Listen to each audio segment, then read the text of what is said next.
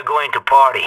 Party all. Hello friends, my name is Nanook Metal and today I would like to show you everything you need to know about the big oil heist in order to complete it. The day one of the heist is fairly straightforward, all you have to do is find the uh, address which is located in one of the safes. Before that I'm going to kill every single guard and it's also not too hard and you can actually ECM rush this heist, which I am going to do, just to make sure that we don't fail it. It is however not necessary to ECM and if you would like to save an ECM in order to open up the ATMs in the basement, you can totally do so. There is a guard who has seen a body outside, but uh, that's not too bad. He actually wasn't seen by any guards from upstairs and also even if the camera would have seen him, just because I ECM rushed, I dropped that ECM, the camera wasn't able to do anything. And as you can see, I just worked my way through the house, started with the first floor, then went upstairs, just killed all the guards one by one. The most important thing is just to make sure that they don't shoot first, make sure you kill them before that, and also make sure that you don't let them burn any of the intelligence. We'll talk about it later, but there are different kinds of intelligence that you can pick up on day one and they can actually help you working out the correct engine and completing the day two of the heist. I have just killed everyone on the map, so at this point it's pretty safe. I can do whatever I want. I'm gonna go find the safes and drill through them. Usually up to three safes spawn and at least two safes will spawn. So make sure you inspect all of the house. You don't really wanna uh, miss one of those safes and then you realize that the address is in there and but you already drilled through the other one so now you have to wait for this one to be done and so on and so on. The safes can spawn in the basement as you can see one of the safes was in there also on the first floor and as well as on the second floor, but also on this deck outside. So I'm just having a look around, making sure that nothing is here. And there's another intel lying there. Uh, but yeah, apart from that, doesn't look like there are three safes this time, there's only two.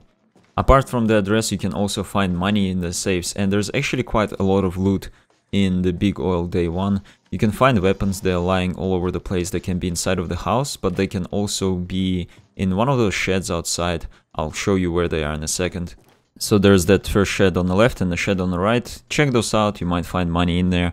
Uh, as well as there is also a basement which has a lot of ATMs in there, but if you want to open all of those, you actually need to bring a saw, which is a viable option in this heist. You don't really need to worry about the concealment because you're not going to do much sneaking in its classical terms, you're just gonna kind of run through the building and just kill everyone. Let's have a look at the intelligence. This is the first piece of intel and Bain usually tells you what it is, or at least hints you, however in this time he didn't say what it exactly is, and I suspect that it's not going to be that useful. However, hopefully with this piece of intelligence is going to be something good. There we go, Bain says that it's codes, and when he says it's codes, it's actually shutter codes, that's what he's referring to. There are shutters on the day 2 of the big oil, they're located on the second floor, and sometimes they're in a closed position, sometimes they're in the open position. So with the codes you will be able to either close and open them. You really want to keep them closed, however, in order to work out if there is a server upstairs, you'll need to have them open and you look from the outside, see what's inside there. So getting the codes is not the worst thing in the world. There are, however, things that are pretty useless, for example, a photograph of the scientist or a photograph of the guards. It is not going to be of much use. There are other things like the blueprints that are also not that great. What we're looking for is to get the key card, uh, plane keys, possibly shutter codes, and there's also another thing that actually will help us with working out the correct engine. I'll talk about finding the correct engine when we get to the day 2. Right now there is nothing much left for me to do but to wait for those drills to be done. One of the safes is already completed so I'm gonna go and check if it has the address. Indeed it does. So we can just grab that address and go. Excellent, we've completed day 1, now we're in the pre-planning section of the day 2. I found the key card as you remember.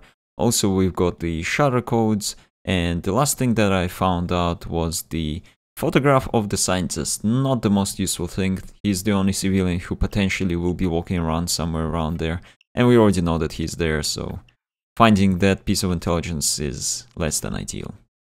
As I mentioned earlier, I would have much rather had the plane keys spawn instead of that photograph of the scientist. However, I'm still pretty happy about the keycard that will allow me to open up the server room with the keycard rather than having to open it with the ECM and I will need the ECMs at the end of the heist because you cannot actually complete this heist fully in stealth. At the point where the helicopter will arrive, the alarm will go off anyway. However, most of the time I end up raising the alarm a little bit earlier, but with the help of the ECMs, we are going to uh, be able to wait to prolong that time until the alarm is raised for as long as we can.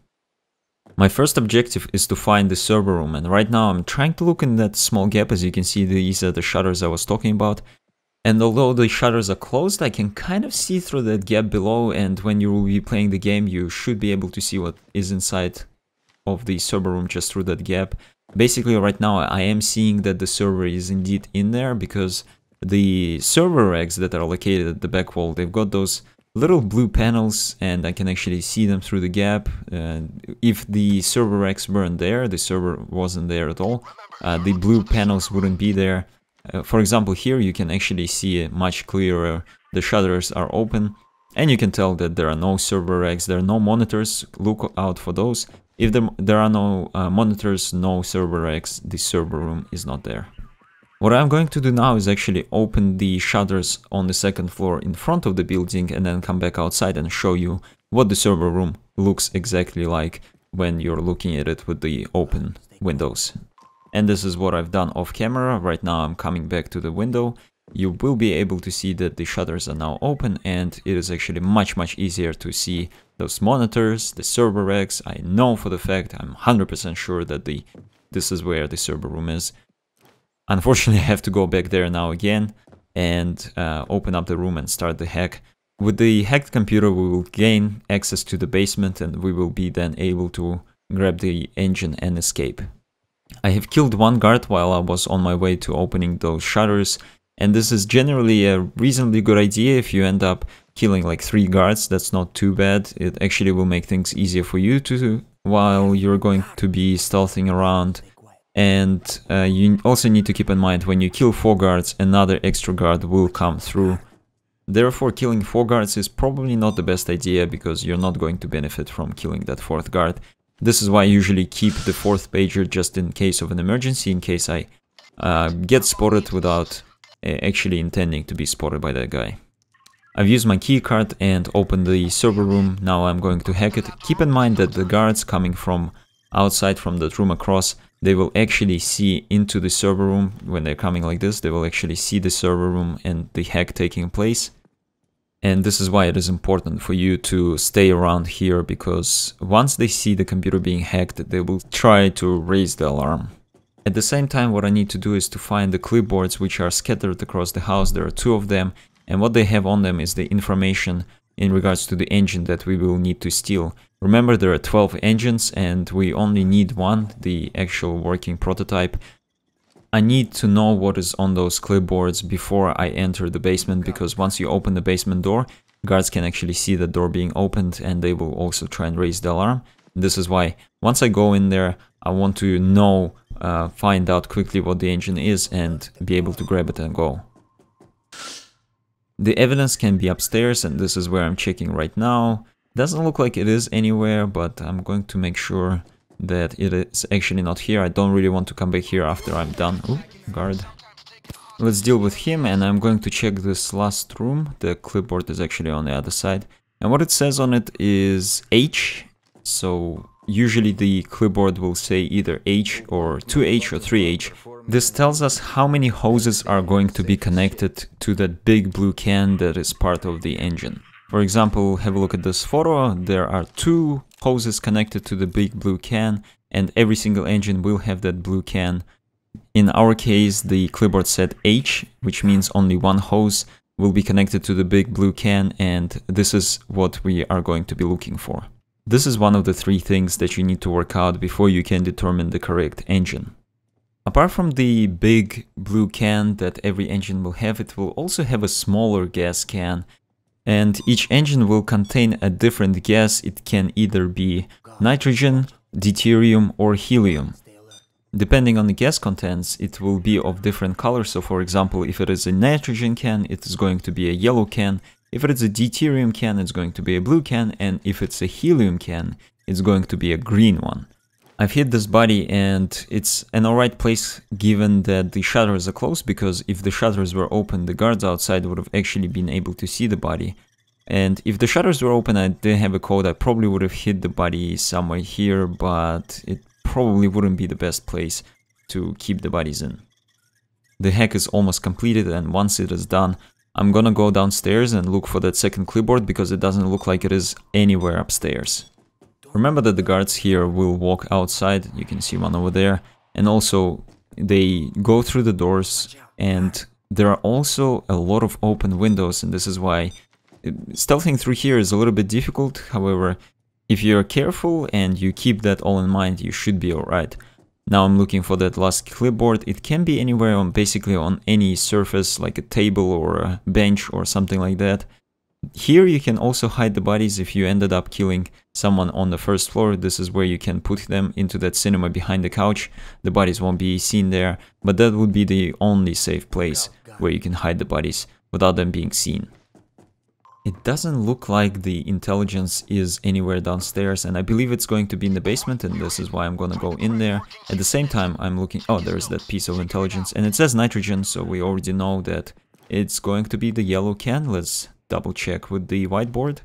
If you find it hard to work out what the engine is as you go, what you can do is use the big oil calculator tool and you just basically punch in the information that you have and it will tell you what the right engine is. Going back to our heist, I still need to find out what is the correct pressure and basically one of the computers, uh, excuse me sir, he's like being obstructive and everything. Let's put him away. Here's that computer and what we need to know from it is whether that arrow next to the pressure is pointing to the left or to the right. And if the arrow is pointing to the left, you're going to be looking for the engine that reads below 404 barrels. However, if the arrow is pointing to the right, obviously you are going to look for the pressure that reads more than 404 barrels. This engine is not the correct one because it has too many hoses connected to the big blue can. And so is this one because it doesn't have the little yellow nitrogen can. However, let's have a look at this engine. So it has that one cable that we're looking for connecting to the big blue can. It also has the yellow small nitrogen can. And lastly, the reading there says less than 404 barrels of pressure. So we've got three out of three things correct. And we have determined the correct engine that we need to steal. I'm now going to pick it up and then run and light up a flare. The flare can spawn in two different places. It can either spawn a Stupid guard. Let's just leave him there. I'm going to drop an ECM in case any other guard sees that guard. But the flare can spawn either by the poolside over here or it can also spawn on the um, air airstrip where we have initially spawned. Hopefully that guard is not going to shoot me down because he will actually down me.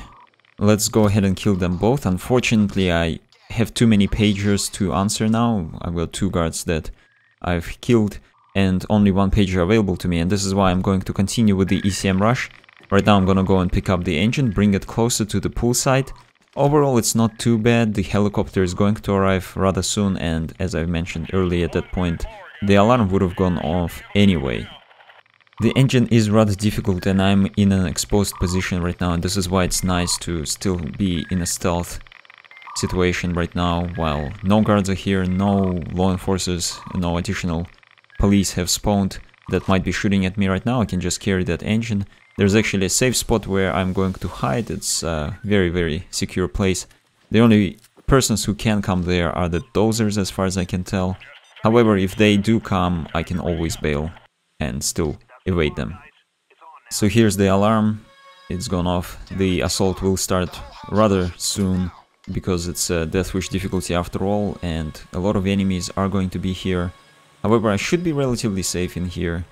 Hopefully the chopper will arrive soon, so I can just get rid of the engine, be a little bit mobile. There's the helicopter. Actually, I came very, very quickly at perfect timing. And what I'm going to do now is just drop the engine off, and this is where I'm going to hide behind this chair. As weird as it looks, it seems like the enemies don't come here, they're not gonna shoot you from here. Very, very safe place overall. If I ended up getting the plane keys on day one, I actually would have been able to escape and not have to wait for the helicopter to arrive back. However, because I didn't get them, I have to wait for the engine to be dropped off. You can see enemies coming down from the roof, but they're not gonna be a problem. The engine has just been dropped off now. Bain will confirm that this is indeed the correct one. Unfortunately, he won't send backup, he won't send the rescue helicopter until that. And all we can do is just sit here and wait it out. In the meanwhile, I also have to mention that sometimes it is going to be much easier to work out what the right engine is. For example, sometimes you can find this piece of intelligence and you will be able to see this document in pre-planning and when you see this document, know that your engine will contain three cables and blue gas can or deuterium. The only thing you will need to find out is what is the correct pressure. Bain has confirmed that the engine is indeed correct and the helicopter is now here and what I'm going to do is just run away. Hopefully I'm not gonna get shot up, there are a little bit of enemies here, but it's all down to luck right now whether that dodge will work or not. I ended up having a quarter of my health, very very close call. However, I managed to escape at the end. And this is it for this tutorial. I believe I've covered every single detail. However, if you still have questions, let me know in the comments down below. I will be very happy to help you out. And also if you have any other heist requests or any other questions in regards to Payday 2, once again let me know down in the comments. Don't forget to like this video and subscribe for more stuff like this, but also share this video with your friends because good people need to watch good videos. Lastly, tune in on my live Twitch streams. They take place on the weekend and you can find more information about them on my Twitch page. I usually put an announcement into the feed in regards to when I'm going to stream. I thank you for watching. I will see you later. Bye bye.